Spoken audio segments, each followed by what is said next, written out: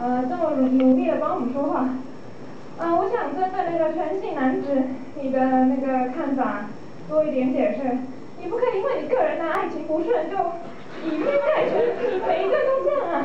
我非常的幸福，而且我刚才没有在想什么，我就是在想我多爱我丈夫。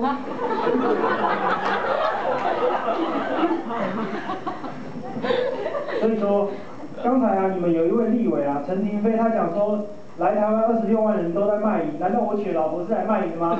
难道你以为你这样受害丈夫的个案，我就是跟你一样的脑袋吗？所以现在我要告诉你们是，我们是真爱。他来到台湾，他有取得工作权，我们才可以有一个幸福美满的家庭。谢谢。